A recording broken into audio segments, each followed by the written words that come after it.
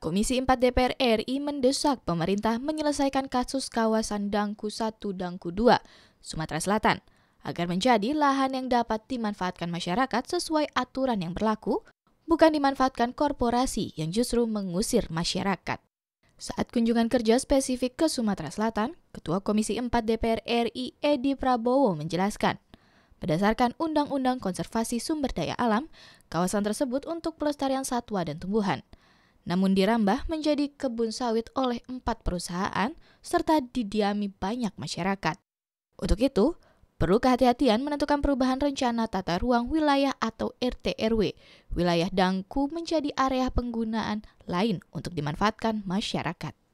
Yang harus segera ditindaklanjuti, namun karena masalah kehati-hatian, kami juga tidak mau ini sebagai salah satu alat untuk melegitimasi sekelompok tertentu atau kelompok pemodal besar yang pada akhirnya masyarakat ditinggalkan, ini juga kita akan khawatir, atau akan menyalahi aturan.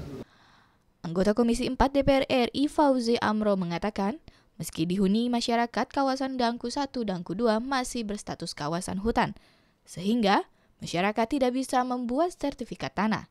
Selain itu, perlu proses hukum terhadap perusahaan yang mengambil lahan tanpa kelengkapan administrasi dan izin. Nah, oleh sebab itu, yang namanya perusahaan pasti masyarakat alergi.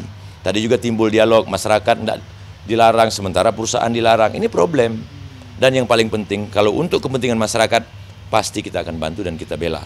Tapi kalau untuk kepentingan korporat, kita pertanyakan dulu seluruh administrasi kelengkapan izin, prosedur, dan mekanismenya.